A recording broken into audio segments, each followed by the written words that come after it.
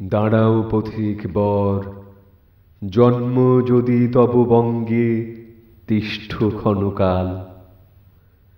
এই সমাধিস্থলে জননীর কোলে শিশুলভ্যোঃ জ্যামতি বিরাম মহীরপদে মহানিদ্রাবৃত দত্তকুলোদ্ভব কবি শ্রীমধুসূদন যশোরে সাগর দাঁড়ে কবতক্ষ তীরে জন্মভূমি জন্মদাতা দত্ত মহামতি রাজনারায়ণ নামে জননী জাহ্নবী।